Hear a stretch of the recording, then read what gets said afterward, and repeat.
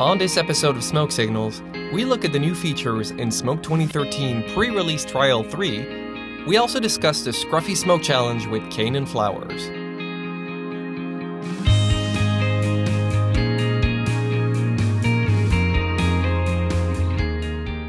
And I'm here with Kanen Flowers, the creative director behind Scruffy TV, that post show, and formerly that media show now called The Scruffy Show. Scruffy Show, yep. And you like smoke. I do. I do. I like smoke quite a lot. I haven't been using it very long, as you know, about maybe four months total, six, six weeks of which have, have been very serious for me and actually when I've been integrating it into my production pipeline. So I do a show, I release it every week. If you consider each uh, shot that was modified in some way to create, you know, a 3D background or some kind of motion graphic. So there are about 300 visual effects shots in each one. So I, I like to say that the Scruffy Show is the kind of pr project that Smoke was designed to tackle. So it's got green screen, it's got compositing, it's got 3D visual effects in there, you've got color correction, you've got titling, but you're all doing it on a really tight budget with run-of-the-mill equipment. So we came up with the Scruffy Smoke Challenge. We want you guys to actually get your hands on some of Kanen's footage from the Scruffy Show and try it out yourselves. They're shots of an upcoming episode of the Scruffy Show, a little interstitial little segment because we do these fun episodes, uh, these fun skits or sketches, depending on what part of the country you're from. And it's for one called Malcolm Gladwell Zombie Killer. This is my tipping point. This is what the dog saw. you know, if you don't get sued for that, that's great. well, I think we have a lot of opportunity uh, because we're doing a parody, right? In the same way that Saturday Night Live or Mad TV yep. or someone like that does. But Malcolm Gladwell, Zombie Killer, there's you know something. Yeah. Something to say about there's, that. There's something. I think there's probably something in there that Gladwell might not approve of. then again, he might. He might. Maybe it's Malcolm Gladwell, social analyst and zombie killer. So the show is shot on a couple of different systems. Um, they're all Canon cameras right now, at least for the challenge footage. It's all shot on a green screen. And sometimes it's handheld and sometimes it's stationary. We have tracking markers in the background.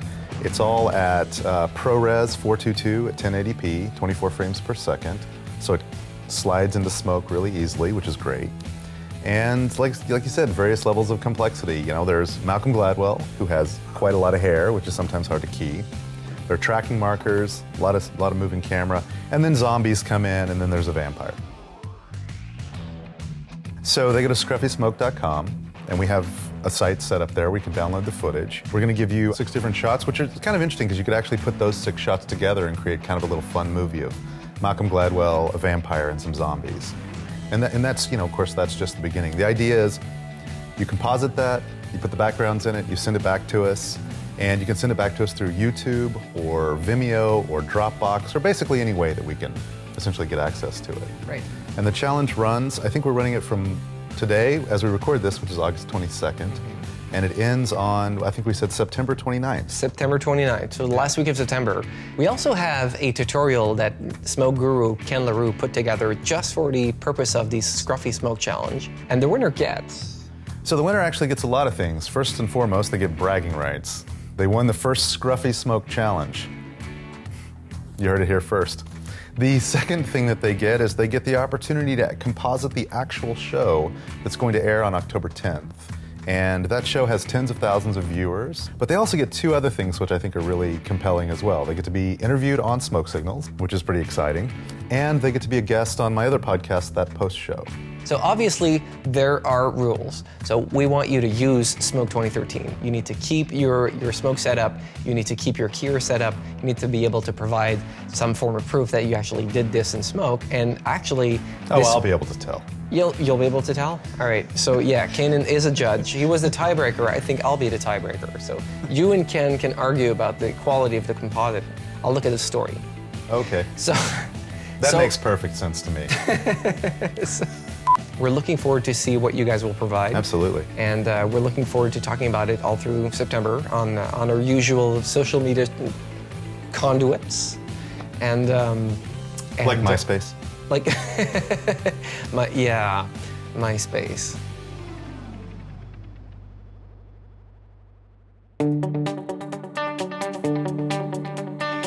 Smoke 2013 pre-release trial 3 is now available, and it packs a host of new features and bug fixes. Before you install this new release, Make sure you read up on how to import your PR2 projects. The Conform tab is now available, letting you relink sequences from other applications to the specified source files. I discussed the Conform tools in a previous episode of Smoke Signals, but I wanted to point out a great new feature. If your timeline exhibits unlinked media files, you can right click on them and unlink the clips to its missing source media. Then, select the sequence in Media Library and switch to the Conform tab. Simply point the search function to where the media resides and let Smoke do the rest. That's only one of the cool features in the new Conform tab. You can now search for elements in the timeline just by clicking on the magnifying glass in the bottom right corner. You can search by clip name, source name, timecode, and a variety of other ways, even by timeline effects category. Pre-release Trial 3 also introduces Connect Effects clips, a powerful way to pre-cache your Connect Effects pipelines and save time. By grouping several nodes together as a Connect Effects clip, you can render parts of your composite, retime it, and reuse it in other segments of your timeline. At any point, you can expand a Connect Effects clip to reveal its original nodes, letting you modify any part of the effect. That's just some of the new features in PR3. So to find out more, I invite you to read the release notes on our wiki page and browse the Smoke 2013 forum on the area. Now it's easier to learn Smoke than ever. There are several free tutorials available everywhere on the web.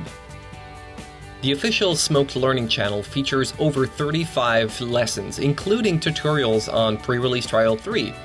They're available on YouTube and iTunes. You can watch past episodes of Smoke Signals, also on YouTube and iTunes. You can check out smoke-training.com, where Brendan Gibbons shows you all the tips and tricks. Larry Jordan has getting started tutorials. Brian Mulligan has a blog filled with tips and tricks around Smoke 2013 on premiumbeat.com. If you want to master Smoke 2013, head on over to FXPHD and check out their fast forward essentials for Smoke 2013. And coming soon, new tutorials by Ripple Training and Digital Tutors. Be part of the Smoke 2013 community. Get your questions answered on the Smoke 2013 forums on the area where Autodesk technical support specialists such as Robert Adam hang out.